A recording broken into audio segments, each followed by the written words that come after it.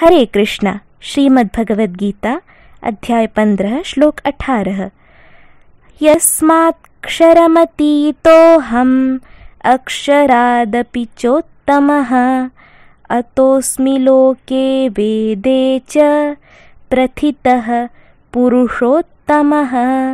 अर्थात चूँकि मैं क्षर तथा अक्षर दोनों के परे हूँ और चूँकि मैं सर्वश्रेष्ठ हूँ, अतएव मैं इस जगत में तथा वेदों में परम पुरुष के रूप में विख्यात हूँ।